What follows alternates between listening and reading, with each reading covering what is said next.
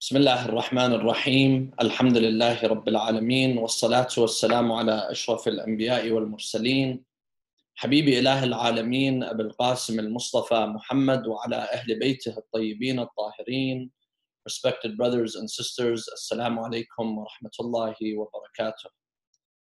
Inshallah, we will begin the tafsir, the exegesis of Ayatul Kursi.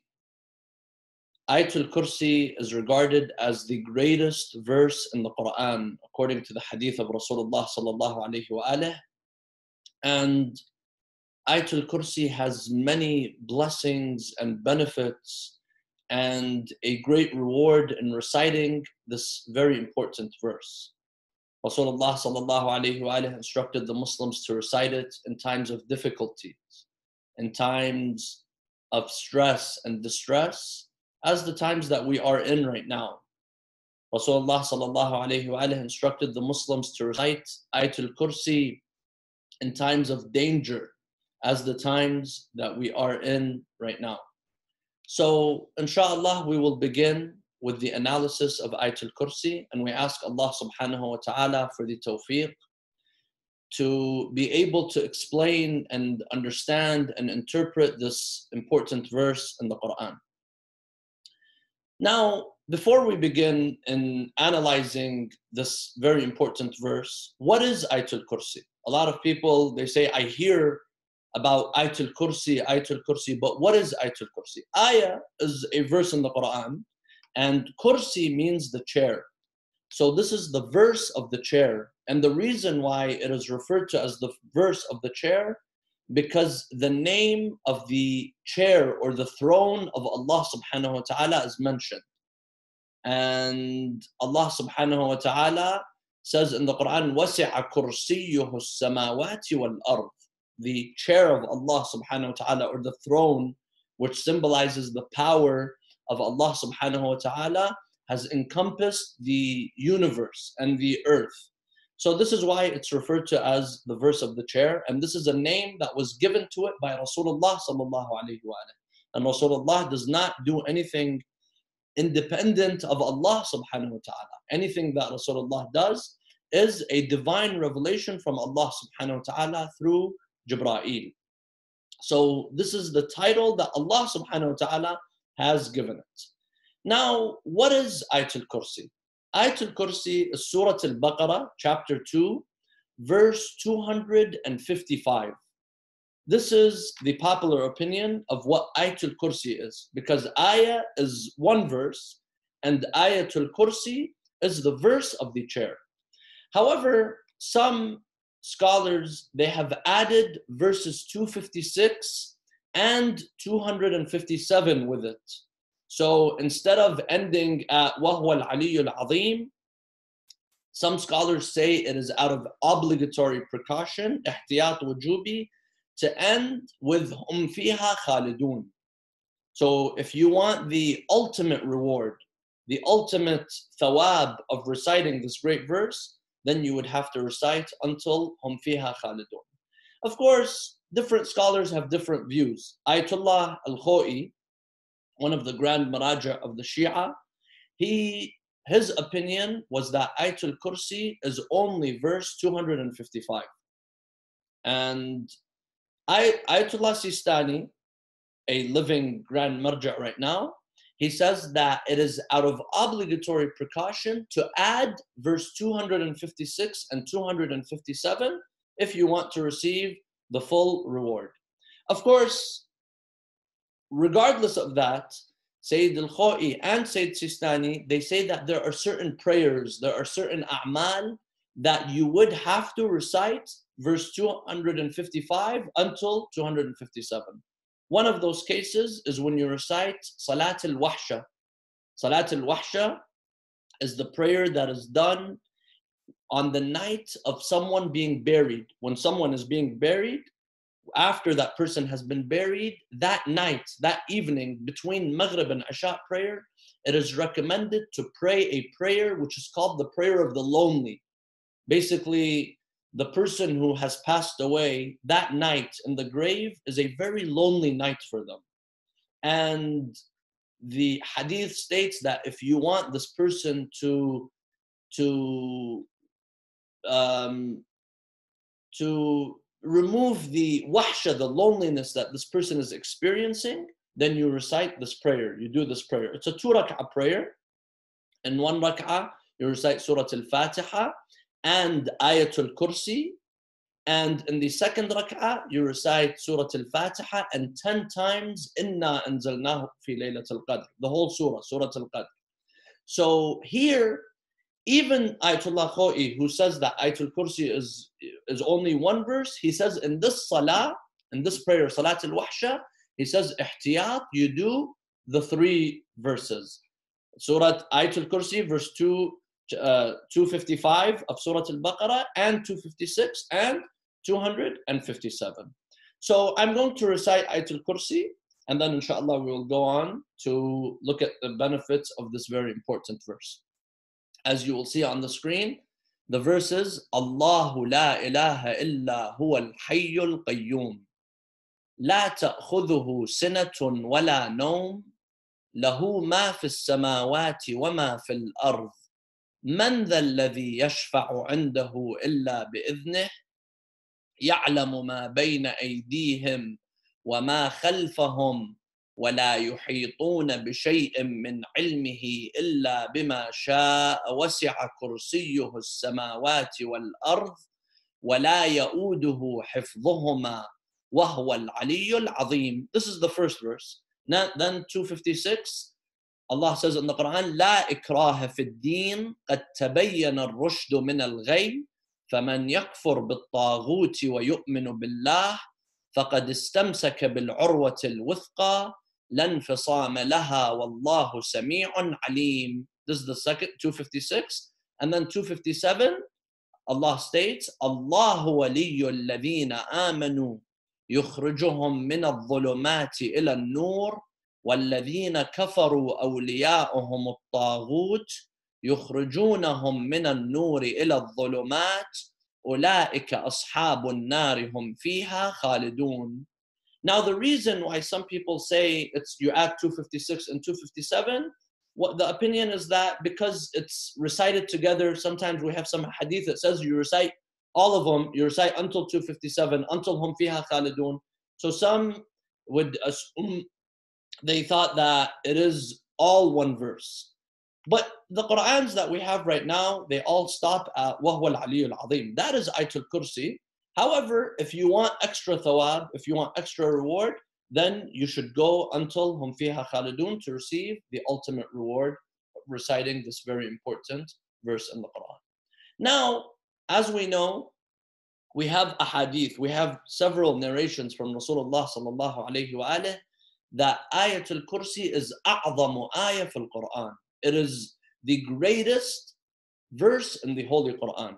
Out of the whole Quran, 114 chapters with thousands of verses, this verse, Ayatul Kursi, is the greatest of all of the verses.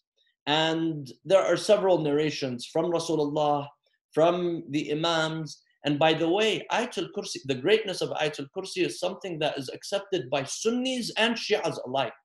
So it's not something that only the Shias regard. No, it's something that you will find in the Sunni text and in the Shia text, the importance and the greatness of this very important verse.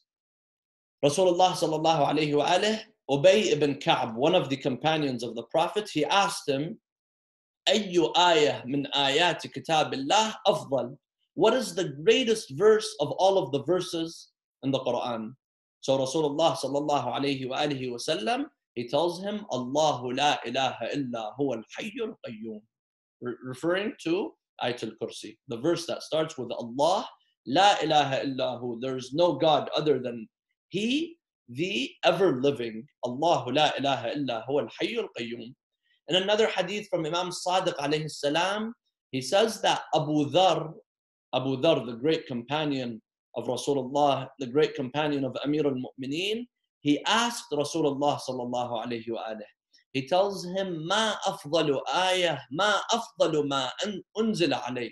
What is the greatest that was revealed upon you, O Rasulullah? So Rasulullah tells him, Ayatul Kursi. Ayatul Kursi, the verse of the chair, because the chair is mentioned in it. So therefore, it is known as Ayatul Kursi. In another hadith from Amir al-Mu'mineen Ali ibn Abi Talib alayhi salam, an Rasulullah, he narrates from Rasulullah he says, قال سيد القرآن البقرة. The Quran has a Sayyid, the master of the Quran, Surah Al-Baqarah. وسيد البقرة آية الكرسي. And the Sayyid, the master of Al-Baqarah is Ayatul Kursi. And then he says, Ya Ali, inna fiha لخمسين كلمة. Within it are 50 words. في كل كلمة خمسون بركة. In every word, there are 50 blessings. Of course, this in this verse, for example, the uh, the the prophet says, Sayyidul Quran al-Baqarah. The master of the Quran is al-Baqarah. We have an, another hadith, for example, Qalb al-Quran. The heart of the Quran is Yasin. So there are different descriptions for different chapters in the Quran. However, several narrations that we have from the Sunni and the Shia say that the say that the um, the greatest verse in the Quran is in fact Ayatul Kursi. In another hadith from Imam al-Baqir alayhi salam, Imam al-Baqir he says قال من قرأ آية الكرسي مرة صرف الله عنه ألف مكروه من مكاره الدنيا. If someone recites Ayatul Kursi once, Allah subhanahu wa ta'ala will protect this person from 1,000 evils and harms, the harms of this life. وَأَلْف مَكْرُوهٍ مِّن مَكَارِهِ الْآخِرَةِ And 1,000 evils and harms from the harms of the afterlife, the akhirah. أيسر مكروه الدنيا الفقر وأيسر مكروه الآخرة عذاب القبر he says the easiest, the least thing that Allah subhanahu wa ta'ala will remove in this life, this e- the, one of the thousand evils that Allah subhanahu wa ta'ala will remove in this life, the least of them is poverty. That's the least thing. So there's many things that Allah subhanahu wa ta'ala will protect you from. The least thing is poverty. وَأَيْسَرْ مَكْرُوهِ الْآخِرَةِ عَذَابُ الْقَبْرِ And the easiest, the least thing that Allah subhanahu wa ta'ala will remove from the thousand uh, evils of the akhirah is the torment of the grave, adab al So just through this, if you want to not have poverty, you recite Ayatul Kursi. If you don't want to experience adab al-qabr, you recite Ayatul Kursi. And this is just by reciting it once. Now, of course, we have narrations that says that you recite it more than once, Allah subhanahu wa ta'ala will protect you more. In a hadith, if you recite Ayatul Kursi one time, this is a hadith from Rasulullah. You recite Ayatul Kursi one time, Allah subhanahu wa ta'ala will send one angel to protect you. You recite it two times, Allah will send two angels to protect you. You recite it three times, Allah will send three angels to protect you. You don't need bodyguards. You have the angels that are protecting you. And if you recite it four times, Allah will tell the angels, leave this person, leave them, leave them, I will protect this person. Allah says, Allah will be the protector. So this is why it's very recommended to recite Ayatul Kursi. And it's recommended to recite it in times of distress, in times of difficulty. Before you sleep, before your eyes fall asleep, you recite Ayatul Kursi. After each prayer, as soon as you finish, finish each prayer, you recite Ayatul Kursi. A lot of us today, we have a habit as soon as we finish our prayer we stretch our hands out and we want to shake hands with people. Now regardless of the fact that we're dealing with corona or not this is not a mustahab thing to do. The mustahabbat are the taqibat of the salah. You do tasbihat al-zahra you recite ayatul kursi you recite the du'as. We don't have anywhere that it says you have to stretch your hand and shake hands with everyone that's sitting around you. The, as soon as you finish the prayer Yes, we say taqabbal Allah after the prayer, after we get up from our seat, after we get up from the sajada. Some of us, we have a habit, as soon as we finish, the first thing, before saying anything, we stretch our hands and we want to we wanna shake hands with people. So we have to see what's important. One of the hadith, the hadith says that after you finish each prayer, recite Ayatul Kursi, recite the taqibat. recite Tasbihat al-Zahra. These are the things that we have to focus on doing. Another time that it's recommended to recite Ayatul Kursi is when you're leaving the house. When you're stepping out of the house, recite it because that's a protection. When you want to remove the evil eye, when there's an evil eye on you, you're afraid of the evil eye, you recite Ayatul Kursi. When you're seeking safety in general, you recite Ayatul Kursi. During the time of Rasulullah, Rasulullah would tell the Muslims when you're riding on your mule, when you're riding on a camel, when you're riding on a horse, recite Ayatul Kursi. Today we tell people when you're getting in the car, as soon as you turn on the car, before you turn on the radio, before you listen to anything, before you start conversations, recite Ayatul Kursi. Because it is a form of protection for you and a form of protection for your family. In a hadith from Rasulullah sallallahu alayhi wa alayhi, he says, if a person every day recites Ayatul Kursi 11 times and Surah Al-Tawheed 11 times and Surah Al-Qadr Inna anzalna 11 times. So قل هو الله أحد and Inna anzalnahu fi laylatul qadr and Ayatul Kursi. Each one reciting it 11 times, Allah will protect you and Allah will protect your family. We should make it a habit, my dear brothers and sisters. Make it a habit to anytime you get in the car, anytime you're getting in an airplane, anytime you're leaving the house, before you sleep, after prayer, to recite Ayatul Kursi because it is a very important verse in the Quran that has a lot of reward and a lot of blessings and protection. So there are benefits in reciting Ayatul Kursi. In a hadith uh, from Rasulullah sallallahu alayhi wa he says, "Man qara'a Ayatul Kursi dubura kulli salatin maktuba." The one who recites Ayatul Kursi after every obligatory salat, salatin maktuba, كان الذي يتولى قبض نفسه ذو الجلال والإكرام the one who will take your soul will not be the angel of death. The one who will take your soul will be Allah subhanahu wa ta'ala. Arhamur Rahimeen, the most merciful. Allah says in the Quran, Allahu yatawaffa al-anfus hina mawtiha. In one verse, Allah says, God is the one who takes the soul. In another verse, Allah says, the angels, تتوفاهم رسلنا. In another verse, قل يتوفاكم ملك الموت الذي وكل بكم. The angel of death takes your soul the greater you are in iman, Allah will say, no, no, no. The angel of death, you're you don't you don't bother with this person. I am the compassionate. I am the merciful. I will be the one who will take the soul of this person. So the Prophet says, uh, um, من قرأ آية الكرسي دبر كل صلاة مكتوبة كان الذي يتولى قبض نفسه ذو الجلال والإكرام. Of course, don't think that when the angel of death is taking the soul, that is also Allah subhanahu wa ta'ala taking the soul.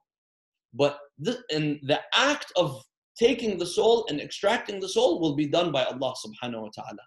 And then the hadith continues, it says, وَكَانَ كَمَنْ قَاتَلَ مَعَ أَنْبِيَاءِ اللَّهِ حَتَّى اسْتُشْهِدْ This person will be, will receive the reward of the ones who fought with the prophets of Allah subhanahu wa ta'ala until they were martyred. Imagine you're in the jihad and you are with the prophets of Allah. You are with Rasulullah, you are with Musa, with Isa, with Ibrahim, with, with the prophets of Allah. You're on the side of the prophets and you were killed on the side of the prophets. How, if you want that position, all you have to do is recite Ayatul Kursi, recite it once after every salah. And we should, this is a reminder for myself and for every single one of us. In another hadith عن علي عليه, عليه السلام from Amir al-Mu'mineen قال سمعت نبيكم على أعواد المنبر وهو يقول He tells the people, I heard your prophet, Rasulullah, on the member. He's on the, on the member, on the pulpit, and he's saying, من قرأ آية الكرسي في دبر كل صلاة مكتوبة لم يمنعه من دخول الجنة إلا الموت ولا يواظب عليها إلا صديق أو عابد he says, I heard Rasulullah saying, the one who recites Ayatul Kursi after every wajib prayer, the only thing that will be in your way from entering paradise is death. Meaning the only door that you have to go through to enter paradise is death. That's it. You, you go straight to paradise. There's nothing, no other obstacle in the way. And then he says, وَلَا يُوَاظِبْ عَلَيْهَا إِلَّا صِدِّيقٌ أَوْ عَابِدٌ and the only one who actually makes sure that they recite Ayatul Kursi after every obligatory prayer is a Siddiq, the truthful ones, or a Abid, a true worshipper. So if I want to be a Siddiq, if I want to be a Abid, I have to make it a habit of reciting Ayatul Kursi. My dear brothers and sisters, a lot of us we say, I've been praying, I've been praying my whole life, but I don't see the benefit of my prayer. One of the key reasons is that we disregard the taqibat of the salah. The taqibat is what is in between the prayers. The tasbihat al-zahra, the sitting before the prayer, the after the prayer, the du'as, doing the mustahabat. We, we pray and then we get up and we do the next prayer as if we have a, a race to finish.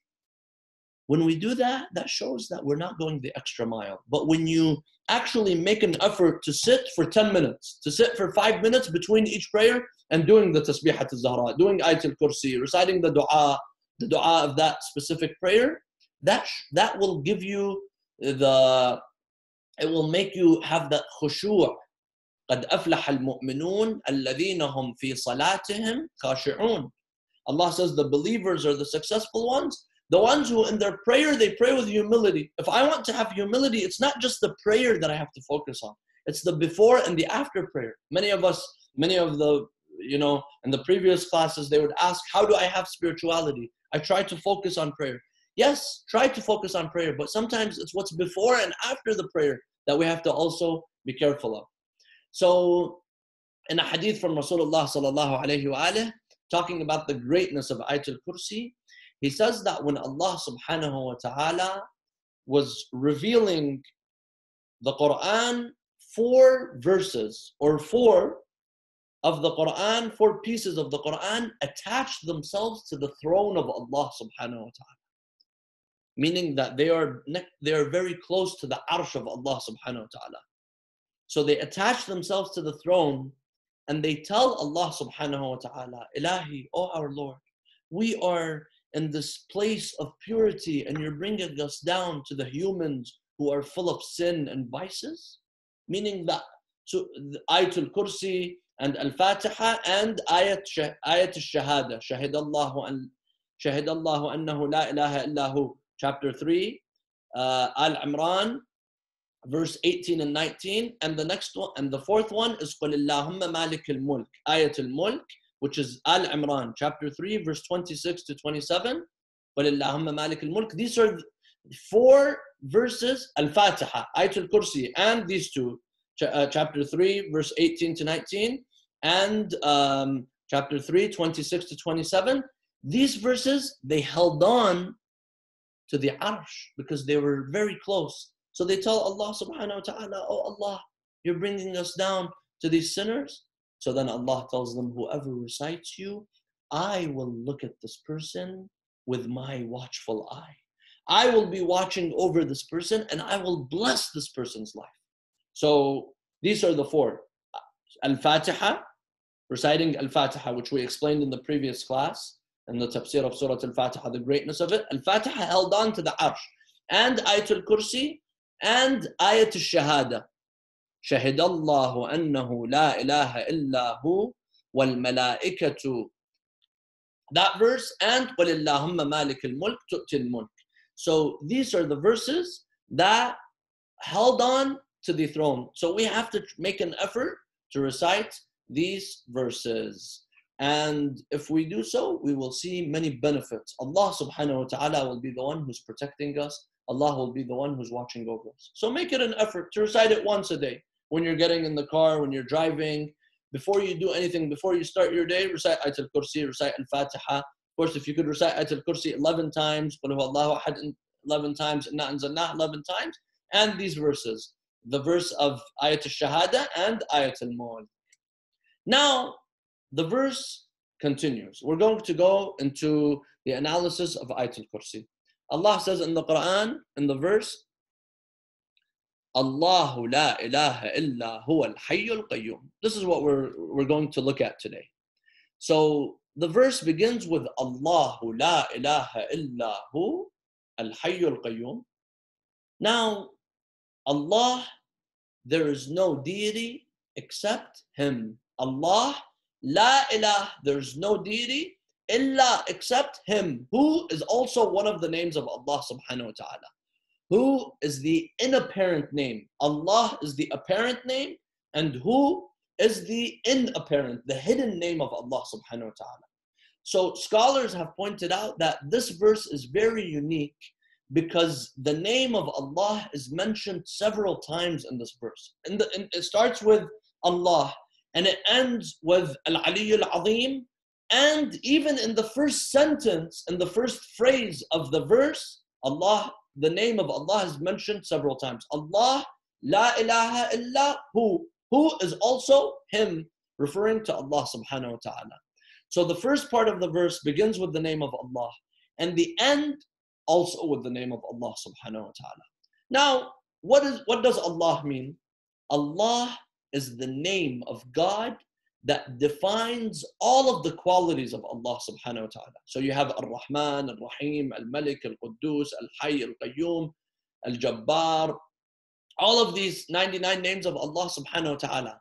If you want one word to sum up the definition of all of these words of Allah, all of these words of God, the merciful, the compassionate, the all-seeing, the all-hearing, all of these names. If you want one word that defines all of those, that is Allah. Allah is the defining word of all of the qualities of Allah subhanahu wa ta'ala. So that is Allah. Now, La ilaha illahu. There is no deity except Him. Of course, this is the most important message of all of the prophets. Every single prophet, they came with the message of Tawheed. Tawheed means that you worship only Allah. You don't look at anything or anyone other than Allah subhanahu wa ta'ala. Allahu la ilaha illahu. Now, la ilaha illallah, this is also the meaning of Allah. La ilaha illallah, there is no God except Him. What does that equal to? What there's no one other than Him that is equal to Allah. So this verse is full of the name of Allah. Allah is one. La ilaha illahu is also what the definition of Allah, because God by definition, Allah by definition, is the one that there is no power, no might other than Him. So La ilaha illahu, there's no deity except Him, is what Allah subhanahu wa ta'ala means. So that's a de- definition of what Allah means, and it's a description of Allah subhanahu wa ta'ala. There's no deity other than who? Who is the inapparent? It's the batin. The, the words of the Quran, they have zahir and they have batin. Sometimes Allah speaks with me, to me with zahir, with what's apparent, and sometimes Allah speaks to me with what is batin. Allah is the apparent name of Allah. Who is the batin, the inapparent name of Allah subhanahu wa ta'ala. So Allah la ilaha illahu. So la ilaha illahu is actually la ilaha illallah because who is Allah? So la ilaha illallah. And this is kalimatul tawheed. Kalimatul tawheed. This is the sentence of tawheed. La ilaha illallah. This is what you have to say to be a Muslim. To believe, you testify that there is no God other than Allah subhanahu wa ta'ala. This is, according to narrations, the greatest form of dhikr the greatest dhikr, remembrance of Allah subhanahu wa ta'ala. You could say subhanallah, alhamdulillah, Allahu Akbar. The greatest is la ilaha illallah. And it is also the easiest. See, everyone, wherever you're sitting, say la ilaha illallah. You don't move your lips. All you do is you move your tongue. La ilaha illallah. You say anything else, Allahu Akbar, Alhamdulillah, Subhanallah, it takes effort. This one, doesn't take effort. All you do is you move your tongue. La ilaha illallah. And this is why, this is what is expected of me to say as my last word before I leave this life. When it becomes difficult to speak, this is what we have to say. This is what we should say. Of course, many people, they find it very difficult to say this. It's very difficult. The hadith says, La ilaha illallah خفيفة على اللسان.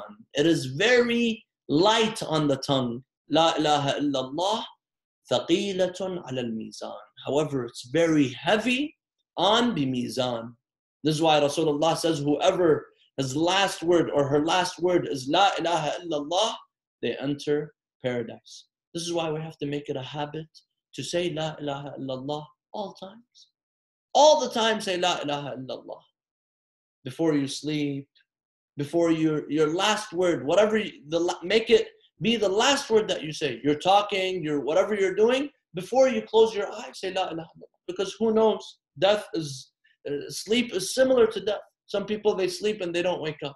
Make it a habit to say La ilaha illallah. In times of danger, if you're going to be in a car accident, whatever it is, say La ilaha illallah. Some of us, you know, we say, Oh my God, we get we when we get excited. Saying Oh my God is not bad. You're turning to Allah subhanahu wa ta'ala. But we should say La ilaha illallah. Make it be that we are saying La ilaha illallah at all times. So it's the greatest form of dhikr and it's the easiest form of remembrance of Allah subhanahu wa ta'ala. Allah says in the Quran, dhikran kathira. Remember Allah all the time. The greatest form of dhikr of Allah is to say, La ilaha illallah. One day, some of the poor inhabitants of Medina, they came to Rasulullah sallallahu alayhi wa and they told Rasulullah, Ya Rasulullah, we don't have money to give charity. We don't have money to come and support the Muslims in times of war. We can't donate our swords and horses and mules. We can't do much to support the Muslims. We want to help out the Muslims. We want the thawab that the rich people are receiving. The rich people, they have many more opportunities to receive the thawab. So what should we do? So Rasulullah sallallahu alayhi wa tells them, if you want the thawab, if you want the reward of giving charity in the way of Allah, of helping out, just as much as those who have money help out with their money, with their finances, all you have to do is say La ilaha illallah 100 times a day. You have to say La ilaha illallah 100 times a day. So they said, That's it, O Rasulullah?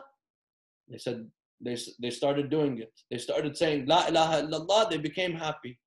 Then the rich people from the Sahaba, they also saw that you know what? It's not hard to say La ilaha illallah. They started saying La ilaha illallah as well. So the poor Sahaba, they came to Rasulullah and they tell Rasulullah, Ya Rasulullah. But they're also, the, the rich ones are also saying La ilaha illallah. Rasulullah tells them, What can I do? They, they're smart. They're saying La ilaha illallah and they're donating. So then Rasulullah tells them, But you, if you want more thawab, say La ilaha illallah more. So it doesn't have to be 100 times. Let it be 150, let it be 200, let it be 1,000 times. Whatever it is, the more you say it, the more reward you will receive. So this is regarding La ilaha illallah. Now, when you add Ashhadu an La ilaha illallah, when you say, I testify, I bear witness that there is no God other than Allah subhanahu wa ta'ala, the hadith says that the angels cannot comprehend the reward. The angels who are writing down the reward of the person who says, Ashhadu an la ilaha illallah, they can't even comprehend the reward of the person who says, Ashhadu an la ilaha illallah. Rasulullah sallallahu alayhi wa he tells Prophet Musa alayhi salam, he tells him, if someone says, if, if you were to take all of the creation of Allah subhanahu wa ta'ala, the universe and the sun and the solar system and the skies and the earth and the mountains and everything, you put it in one palm, in one hand, and you take ashhadu an la ilaha illallah in another hand, that one will be heavier. The ashhadu an la ilaha illallah will be heavier than everything else. So the value of ashhadu an la ilaha illallah is greater than everything that is created. This is why when you say ashhadu an la ilaha illallah, that is your passport to paradise. That is your way of seeking paradise and going to paradise. When you say ashhadu, you're testifying. You say, I bear witness. This is heavier than just saying La ilaha illallah. La ilaha illallah, you're saying there's no God, there's no deity other than Allah. But when you say, I bear witness, this is a testament of faith meaning that I bear witness. I'm willing to put my life on this. This is something that I stand for, I believe in, I witness in this. It is said in a beautiful hadith that one day Prophet Yusuf alayhi after he became the king, after he was a prisoner, he became a slave and a prisoner, then he became the king, the Aziz of Misr. He was sitting on his throne in his palace and he was watching people pass by. So he sees, as he's sitting, he asks them to put his throne in a in a place where he has he sees people that are passing by. He sees people that he's the king of. He's ruling them. So he sees a very poor young man, a poor young man who's wearing dirty clothes. This person looks miserable. And he was thinking to himself, how is this person miserable? Why is this person in such a state? So Jibra'il comes to Prophet Yusuf. Prophet Yusuf is a prophet and Jibra'il is an angel. He comes to him and he tells him, he tells him, Oh Yusuf, you see that young man over there who looks miserable? Your honor and your life and your freedom is because of that young man. He looks miserable right now. But this man, it's because of him that you have honor right now. It's because of him that you have freedom right now. So Prophet Yusuf was surprised. Prophet Yusuf is a king now, he's a prophet. He tells him how this man looks miserable. He tells him, Remember when you were in the palace of Zuleikha and Zuleikha, the wife of the Pharaoh, the wife of the Aziz at that time, she started running after you. She tried to seduce you And you had nothing to do with it. But when the authorities, they opened the door and they saw that she was there with you and she right away blamed you, there was a witness Allah says in the Quran, فَشَهِدَ شَاهِدٌ مِّنْ أَهْلِهَا There was a witness that testified at that moment. What did the witness testify? The witness, all that the witness said, the witness was a baby that was in the cradle. The, the baby said, if the shirt of Yusuf is ripped from the front, then that means he is the one who's assaulting her. He's the one who's going after her. But if his shirt is ripped from the back, then that means she's running after him and he's trying to escape. And that's what was what happened. What happened? He was running away and she was coming after him. So that witness, that baby, Allah through a miracle began to speak. That baby saved the life of Yusuf. That ba- it was because of that baby that they realized that Yusuf had nothing to do with it. And it was her, Zuleikha, who was running and chasing after Prophet Yusuf.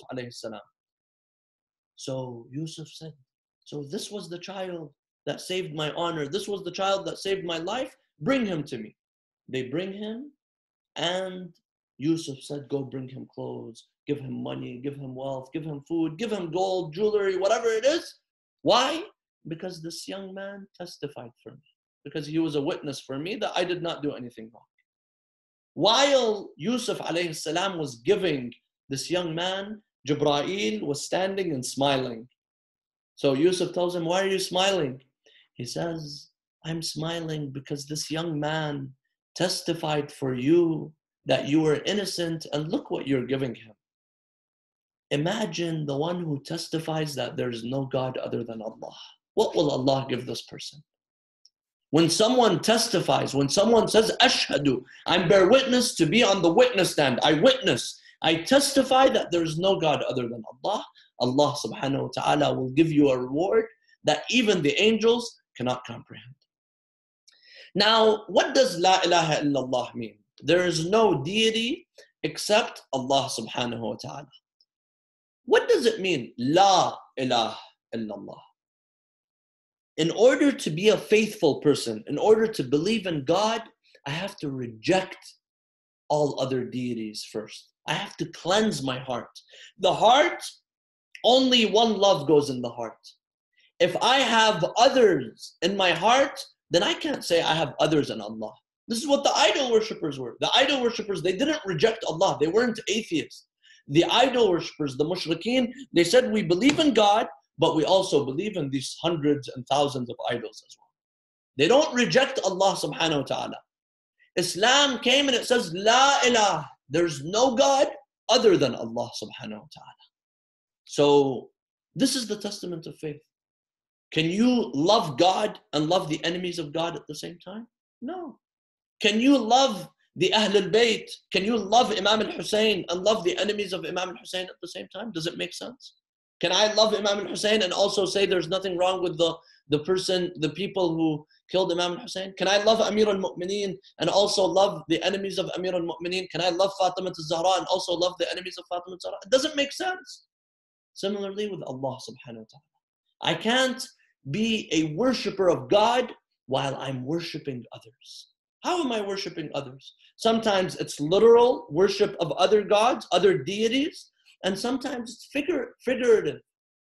I have to reject all of the literal idols and the figurative idols that are in my heart.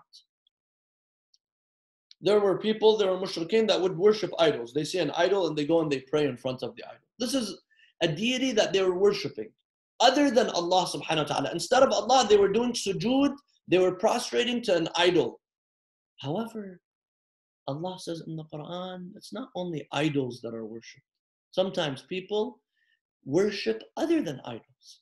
Allah says in the Quran, أَلَمْ أَحَدْ إِلَيْكُمْ يَا بَنِي آدَمَ أَن لَا تَعْبُدُوا الشَّيْطَانِ إِنَّهُ لَكُمْ عَدُوٌ مُبِينٌ And have I not told you, O children of Adam, that you shall not worship Satan, that you shall not worship Shaitan.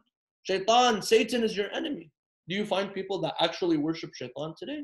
Yes, they say there is a sect, the Yazidis or something, they worship Shaitan. However, this is I don't believe this is what the verse is talking about. This is talking about your Shaitan, meaning the desires that Shaitan subhan Shaitan Allah has placed in your heart and brought you away from Allah subhanahu wa ta'ala. Alam ahad ilaykum ya bani Adam and la ta'budu, meaning don't obey shaitan. Don't obey the orders of shaitan. Because the hadith says, Man asgha ila natiqin faqad abada. Whoever is listening to a speaker, it's as if you are worshipping that speaker. Why? Because you're taking advice, you're taking you're, you're taking what this person is telling you. So that the hadith continues, it says, if the natiq, if the speaker is speaking on behalf of God, then it's as if you've worshipped God If the speaker is speaking on behalf of shaitan, meaning anything that brings you away from Allah, then it's as if you have worshipped shaitan. Also, Allah says in the Quran, أَفَرَأَيْتَ مَنِ اتَّخَذَ إِلَهَهُ هَوَاهُ Have you seen the one who takes their Lord as their desires? They take their desires as their Lord. When they're hungry, they don't care. When they're thirsty, they don't care. When they have a sexual desire, they don't care about any laws, anything else. When they when they want power, they're willing to kill, they're willing to oppress. This is how some people are. This is the nature of human beings. We have to go back to Allah. So when I say La ilaha illallah, it means I have to reject all of the literal and figurative gods that we are worshiping. We have to make sure that we cleanse our heart from anything other than Allah subhanahu wa ta'ala. Rasulullah sallallahu alayhi wa alayhi, he stood on the mountain of Safa when, when Allah subhanahu wa ta'ala ordered for him to go and deliver the message of Islam. He went on the mountain of Safa, which was overlooking the Kaaba, and he began to call out, Ayyuhan nas, قولوا لا إله إلا الله تفلحوا.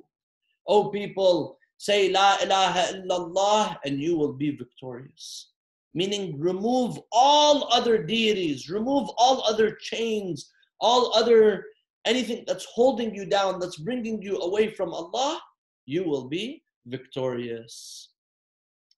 Now, there were many of the mushrikeen, it was very difficult for them to say La ilaha illallah. Amir al-Mu'mineen in the battle of the Khandaq, he tells Amr ibn Uwaid, all you have to do is say La ilaha illallah.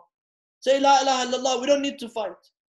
Amr ibn Uwaid, he tells him, this kalima, this la ilaha illallah is heavier than the mountains. Now for the Muslim, for the believer, it's very easy to say la ilaha illallah. It's such an easy word to say. However, the mushrikeen, it was very difficult for them to say la ilaha illallah. Because that means they have to reject all of their idols. They have to reject their past. They have to reject the way of the ways of their forefathers. And that was something that was difficult for them. إنهم كانوا إذا قيل لهم لا إله إلا الله يستكبرون ويقولون أئننا لتاركوا آلهتنا لشاعر مجنون. الله says in the Quran they the mushrikeen when you tell them when when they were told to say لا إله إلا الله يستكبرون they become very arrogant. ويقولون and they say أئننا لتاركوا آلهتنا لشاعر مجنون. Should we leave our idols to a mad poet, referring to Rasulullah as a sha'ir, a poet, and someone who's majnoon, who's mad. Of course, Allah subhanahu wa ta'ala defends the Prophet. Allah says, He's not a majnoon. He is bringing the Quran upon you. These are the words of Allah subhanahu wa ta'ala. So, La ilaha illallah is very heavy, it's very important. Imam al-Rida alayhi salam, on his way to Khurasan, when Ma'mun, the Abbasi caliph, he summoned Imam al-Rida to go to Khurasan. Imam al-Rida, he passed by several towns. So he passed by, he passed by a town which is not too far from Mashhad, Khurasan, where the Imam is buried today, a town by the name of Nayshabur. Nayshabur. That city was a hawza. That city was a, Islam, a place of an Islamic seminary, non-Shia Islamic seminary. It was from the Sunni seminary, and it had thousands of scholars. So the Imam, he stayed there for a while. Then, as he was leaving, he went on, on the camel and he was leaving. He's going to he's going to Khurasan, to current day Mashhad where he was. And on his way there, they say that 24,000 muhaddithin, 24,000 narrators of hadith, they came, they had their pens in, in their hand and a paper, and they tell the Imam, O son of Rasulullah, Yabna Rasulullah, we want you to hear, we want you to say a hadith that you narrate from your ajdad, from your forefathers. So here, even though they were Sunni, they were not Shia, they were not followers of the Imam, but they want to hear a hadith from the Imam because they know he's from the descendant of Rasulullah. He's from the children of, from the progeny of Rasulullah sallallahu alayhi wa So they tell him, we want a hadith from you. So Rasulullah sallallahu, uh, excuse me, uh, Imam al-Rida alayhi salam, he was on the camel and the camel had a cover on it. A, they would make like a small room which would protect from the sun. He, he and there's a curtain. He removed the curtain and these 24,000 people, they saw the face of the Imam. This hadith is narrated by Allam al-Majlisi in Bihar al-Anwar and in Uyun Akhbar al-Rida. Uyun Akhbar al-Rida by uh, Shaykh al-Saduq and the hadith that the Imam mentioned is narrated by thousands because thousands were there. 24,000 they attended and Sunnis they also attended this. They say that when the Imam removed it the people there they had traveled long distances just to come and see someone who's a grandson of the Prophet because at that time the Muslim empire had gone through so many wars and and you know so much strife and difficulty they had the Muslims were very distant from the true essence of Islam. So now they see the grandson of the Prophet. The hadith says that when they saw the face of Imam al-Rida, some of them they fainted. Some of them they, they fainted and they were awestruck by the face of this great Imam. Imam Ali ibn Musa Rida alayhi salam. So he waited until they calmed down and then he tells them, سمعت من أبي موسى بن جعفر Al-Kadhim alayhi salam. I heard from my father Musa ibn Ja'far, who heard from his father Ja'far ibn Muhammad al-Sadiq, Imam al-Sadiq alayhi salam, who heard from his father Imam al-Baqir, who heard from his father Imam Zayn al-Abidin, who heard from his father Al-Husayn ibn Ali ibn Abi Talib, who heard from his father Amir al-Mu'mineen Ali ibn Abi Talib, who heard from his brother Rasulullah sallallahu alayhi wa alayhi, who heard from Jibreel, who heard from Allah. So now this is called Hadith as-Silsila dhahabiyya, the golden chain. It has a golden chain because where can you find a chain as pure as that? So what did he hear from Allah subhanahu wa ta'ala? Allah says, Kalimatu la ilaha illallah husni. The statement of La ilaha illallah, there's no deity except Allah, is Husni, is my fortress. فَمَنْ دَخَلَ حُسْنِي أَمِنَ مِنْ عَذَابِي And whoever enters into my fortress, this person is safe from my punishment. This person is safe from my wrath. So when you say La ilaha illallah, you're entering into the fortress of Allah subhanahu wa ta'ala, and therefore you are safe from the wrath of Allah subhanahu wa ta'ala. Of course, you have to say it with belief.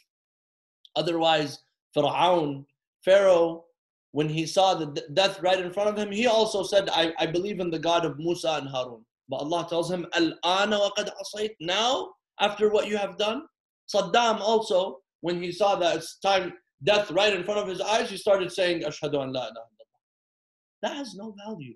When a person, after they see death, then they come and they, they want to say it. It's, it, you have to, has to be something that is based on belief. Your actions and your blood and your, your, your bones and your flesh all have to testify La ilaha illallah. So the Imam alayhi salam, he says, Kalimatu la ilaha illallah husni, faman dakhala husni, amina min adabi. And then the Imam, he adds one thing to it.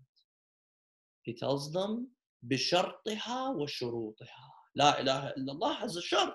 La ilaha illallah has conditions. Otherwise, anyone could say La ilaha illallah. It has conditions. You have to truly believe. You have to truly submit. You have to truly reject all other idols, all other literal and figurative gods and deities out of your life. بشرطها وشروطها. And then the Imam says, وأنا من شروطها. and I am one of the conditions of La ilaha illallah. What does this mean? This means that you have to believe in the imamah of all of the imams, including Imam Ali ibn Musa al-Rida alayhi salam, so that your La ilaha illallah will be a sound La ilaha Because you will not believe in Allah if you don't believe in Rasulullah. And if you don't fully believe, if you don't believe in the Imam after Rasulullah, then you have not believed in Rasulullah. And you have to believe in every single Imam. So it all goes back to Tawheed. The Imam that you follow will lead you to the correct Tawheed. And this is what we see today the individuals, the groups that have not followed the Ahlul Bayt, the groups that have marginalized and sidelined the Ahlul Bayt, even their tawheed is wrong. Even their tawheed. You find in Bukhari, he says that on a Thursday night, Allah in a body of a blonde young man who has locks and is wearing a golden sandal, he comes down on a donkey every Thursday night. This is narrated by Bukhari. Is this Tawheed? Is this La ilaha illallah? Believing that God has a body, God has an image, and He has golden locks? No, this is Greek, myth, Greek mythology. This is not the Islam of the Ahl al-Bayt, the Islam of Rasulullah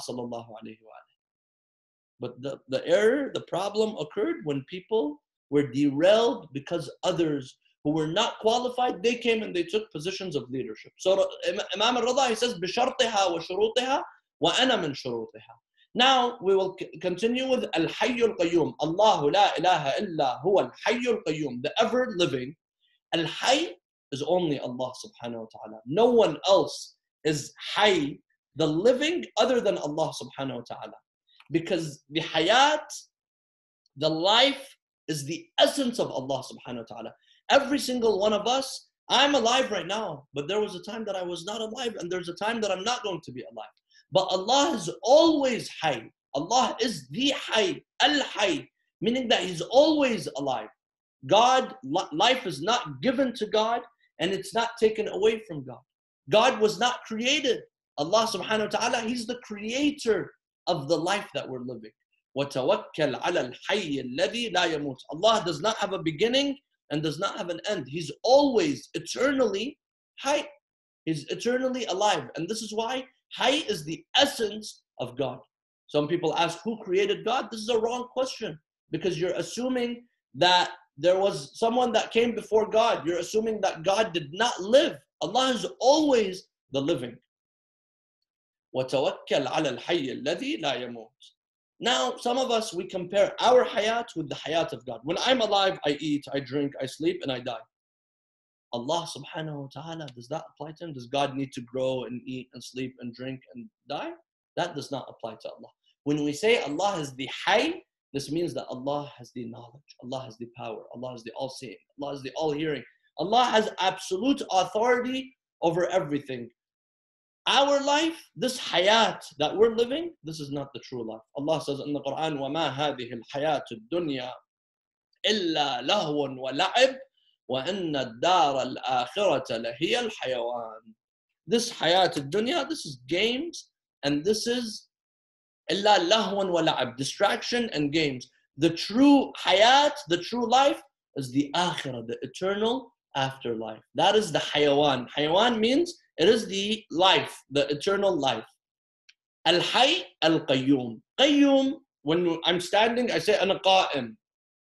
God is standing on his own. Qayyum meaning that nothing gave life to Allah subhanahu wa ta'ala. God is standing on his own. God does not require support. Lam yalid wa lam yulad. God is not does not give have children and God is not born. So God is the Qayyum, meaning that He is the ever living and He is the standing on His own and He gives life to others. Al Hayy, He's the living and He's standing on His own and Allah subhanahu wa ta'ala gives life to others. All the other creation came to this creation because of Allah. Allah is the one who gave life. Allah gave life to you and I and to the virus and to the bacteria and everything, Allah subhanahu wa ta'ala gave it life. Inshallah, in the next session, we will continue with the verse of Ayatul Kursi. Allahu la ilaha illa huwa al-hayyul qayyum la ta'khudhu sinatun wa la. Inshallah, we will continue.